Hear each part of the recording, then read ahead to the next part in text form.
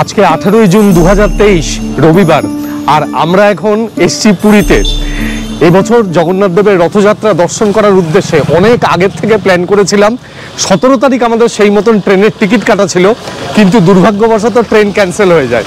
তারপরে অনেক কাণ্ড করে শেষে আমরা সড়ক পথে আজকে পুরীতে এসে পৌঁছেছি, আজকে বিকেলবেলাতে। এখন আমরা যাচ্ছি যে পুরীতে পরশু দিন, অর্থাৎ কুড়ি তারিখ, রথযাত্রা।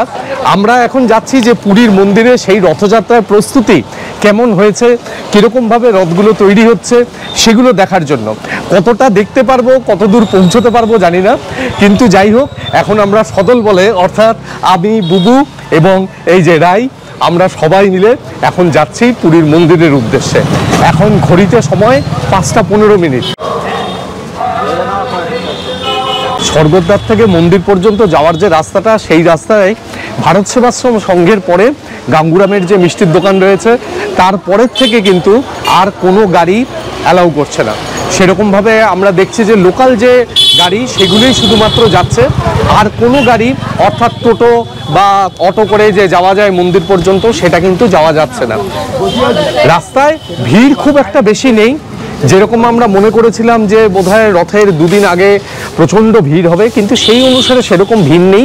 অন্যান্য সময় মন্দিরে যাওয়ার জন্য যেরকম ভিড় থাকে, মন্দিরের পথে যেরকম ভিড় থাকে, ভিড়টা সেরকমই রয়েছে।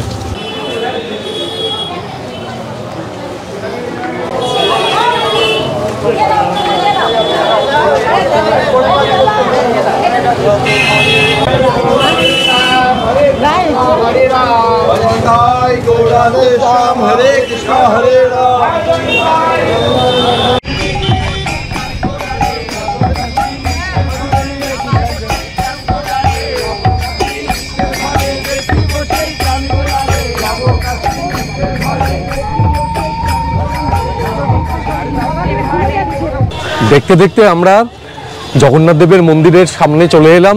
এই যে আমার পাশে, এখানে দেখছেন জগন্নাথ দেবের সেই বিখ্যাত রান্নাঘর।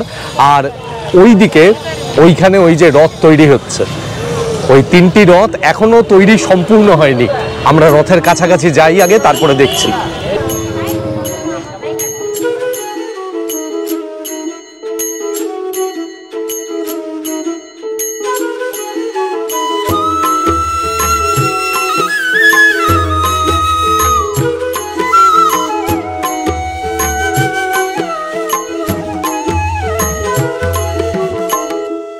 মন্দির থেকে বেরিয়ে এসে জগন্নাথদেব যে পথ দিয়ে যাবেন, সেই পথটি দারুণ সুন্দর আলপনা দিয়ে সাজানো হয়েছে। অপূর্ব সুন্দর লাগছে দেখতে পুরো চত্বরটা।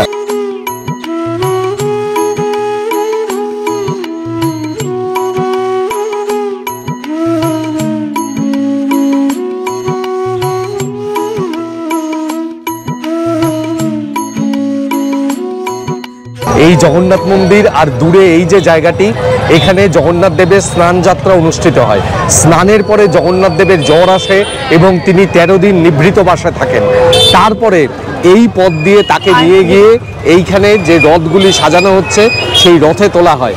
এদিকে দেখুন জগন্নাথ দেবের রথযাত্রা উপলক্ষে প্রশাসন সর্বতভাবে প্রস্তুত। এখানে প্রশাসনের বিভিন্ন কর্তা ব্যক্তিরা ট্রেনিং দিচ্ছেন যে জগন্নাথ দেবের রথযাত্রার দিন কীভাবে ভিড় নিয়ন্ত্রণ করা হবে।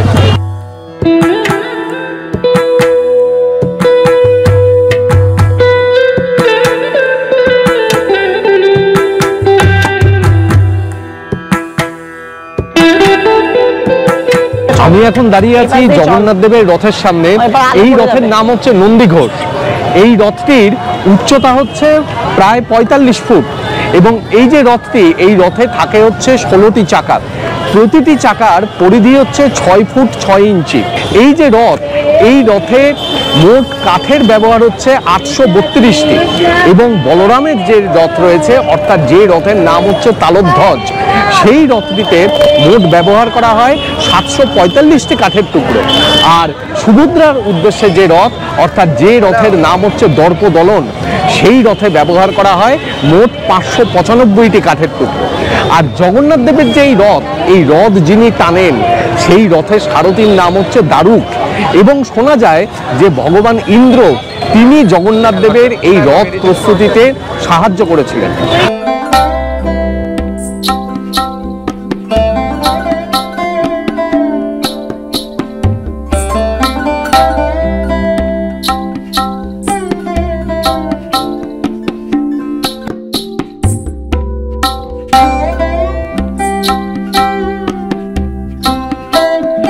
জগন্নাথ দেবের যে রথ, অর্থাৎ নন্দী ঘোষ, তার উচ্চতা হচ্ছে তেত্রিশ হাত।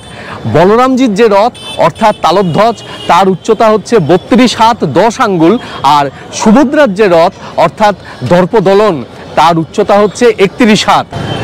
যে ঘোড়াগুলি রথ টানবে, এখানে সেই ঘোড়াগুলি রাখা হয়েছে এবং সেই ঘোড়াতে শেষ মুহূর্তে রঙের প্রলেপ পড়ছে।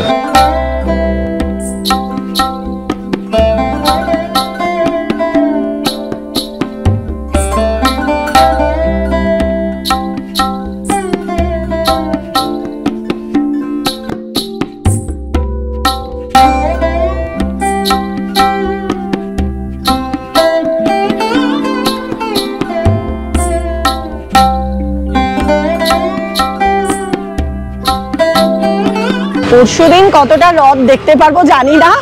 তবে এই যে মনের সুখে আজকে স্পর্শ করতে পারছি এতেই আমার জীবন ধন্য। মানে এইভাবে স্পর্শ করতে পারব? জগন্নাথ দেব, বলরাম, সুভদ্রার রথ কোনোদিন জীবনেও স্বপ্নেও ভাবতে পারিনি।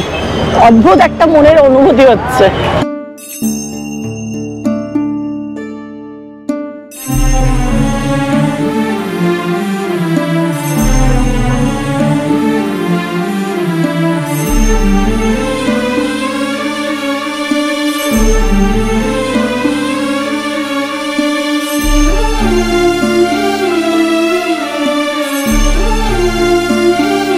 জগন্নাথ দেবের সাথে তার এই নন্দীঘোষ রথে আরও নজন দেবতা অধিষ্ঠান করেন। তারা হলেন গোপীকৃষ্ণ, গোবর্ধন, রাম, নারায়ণ, বরাহ, রুদ্র, নৃসিংহ, হনুমান এবং ত্রিবিক্রম। এই নজন দেবতাকে নিয়ে জগন্নাথ দেব তিনি গুন্ডিচাতে তার মাসির বাড়ির উদ্দেশ্যে যাত্রা শুরু করেন। আর জগন্নাথ দেবের এই যে রথ, এই রথের কাপড় হচ্ছে লাল এবং হলুদ। আর বলরামের যে রথ, অর্থাৎ তালধ্বজ, তার কাপড়ের রং হচ্ছে লাল এবং সবুজ। আর সুভদ্রার যে রথ, অর্থাৎ দর্পদলন, সেটি যে কাপড়ে মোড়া হয়, তার রং হচ্ছে লাল এবং কালো।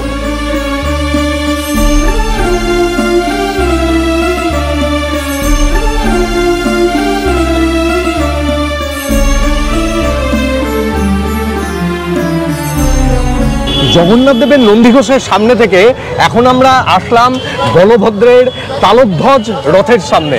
আমার ডান দিকে রয়েছে বলভদ্রজির রথ আমার বাঁ দিকে রয়েছে সুভদ্রাজির রথ আর তার পাশে রয়েছে জগন্নাথজির রথ। দুই ভাইয়ের মাঝখানে বোন সুভদ্রাজির রথ রয়েছে। এই রথের উচ্চতা হচ্ছে বত্রিশ হাত দশ আঙ্গুল। এবং এই রথ আমি যেটা বলছিলাম যে বলভদ্রের রথ যেটা লাল এবং সবুজ কাপড় দিয়ে মোড়া হয়। আর ঠিক উল্টো দিকেই এইখানে তৈরি হচ্ছে সুভদ্রার রথ, অর্থাৎ যার নাম হচ্ছে দর্পদলন। এই রথের কাপড় হচ্ছে লাল এবং কালো, আর রথের উচ্চতা হচ্ছে একত্রিশ হাত। এই রথ তৈরি হয় মোট ছাপ্পান্ন দিন ধরে, আর যারা এই রথ তৈরি করেছেন, এখন তাদের শেষ মুহূর্তের প্রস্তুতি চলছে। তারা এই রথ তৈরির ফাঁকে এখন এখানে একটু বিশ্রাম করছেন।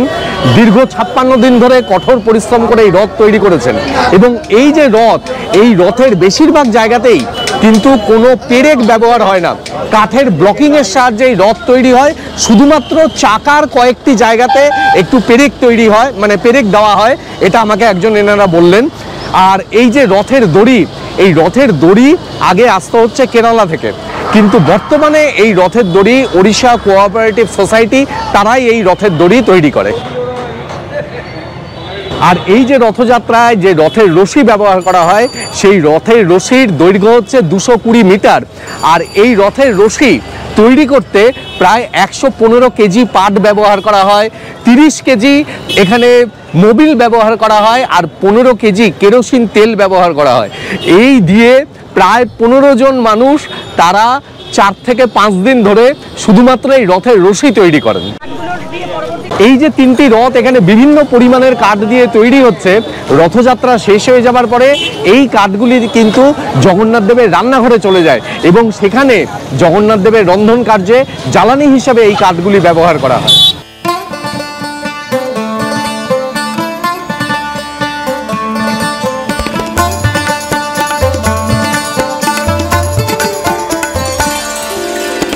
হাতে আর মাত্র একটা দিন আজকে আঠেরো তারিখ আর কুড়ি তারিখে রথ।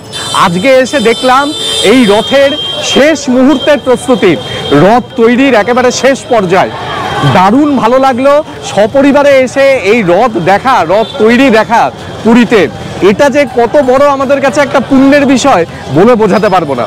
আপনাদের সাথে আমরা আমাদের এই ভালো লাগাটা, এই পুণ্য ভাগ করে নিচ্ছি। আপনাদের আজকের এই ভিডিও কেমন লাগল অতি অবশ্যই কমেন্ট বক্সে কমেন্ট করে জানাবেন। আর যদি সম্ভব হয়, আমি আপ্রাণ চেষ্টা করব আমরা যে কুড়ি তারিখে রথযাত্রার ভিডিও আপনাদের কাছে নিয়ে আসতে। কাজেই সঙ্গে থাকবেন। অনেক ধন্যবাদ।